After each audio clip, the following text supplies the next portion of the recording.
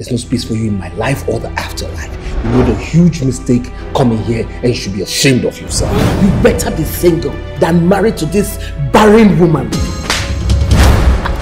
Are you mad? Are you mad? My wife will get pregnant as I went due. You have no right to poke your nose in my affairs. Am I the only married woman who is yet to have a child? Why haven't you blessed me with a grandchild after five years of marriage? You didn't expect me to start nursing some useless child. Now tell me, if I didn't have you for your father, who will inherit his chance of business enterprise? Who? I beg free me oh. Na cigarette I smoke, I no keep person. Is it the reason you refuse to join us to the church program?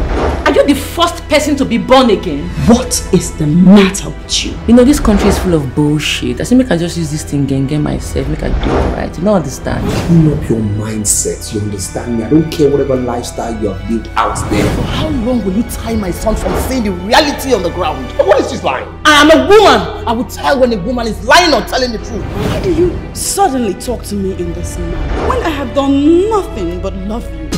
That's because you gave us a wrong impression about the real you. That girl will not step a foot into this house. No blood of the Kukways is raised outside. You blame you! Next time I see you near me, I will chop off your pencil-like dick and shove it down your throat. Ow! Ow!